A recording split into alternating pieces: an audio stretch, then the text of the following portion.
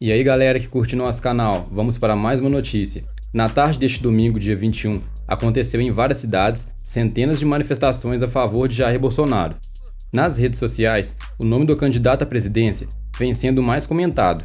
Resguardando sua saúde, Bolsonaro não está participando de eventos públicos. Sabemos bem o que aconteceu com Bolsonaro em seu último evento, onde o mesmo quase perdeu sua vida.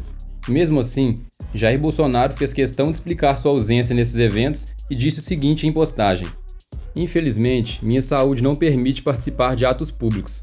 Há cerca de um mês, sofri uma tentativa de assassinato por um ex-militante do PSOL. Porém, estou acompanhando os atos e meu coração está com todos vocês. Muito obrigado e que Deus os abençoe, diz Bolsonaro em postagem. Fernando Haddad resolveu mandar recado a seu adversário Bolsonaro e disse: essa semana eu descobri por que Bolsonaro não participa dos debates. O soldadinho de Araque não pode reafirmar o que ele fala no submundo da internet olhando no meu olho.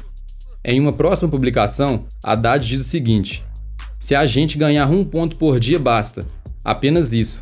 A gente vira esse jogo e vamos subir juntos a rampa do Planalto. Fernando Haddad se mostra muito confiante. Será que ele está certo? Quem você acha que vencerá nesse segundo turno das eleições? Deixe sua opinião nos comentários e se inscreva no canal. Até o próximo vídeo.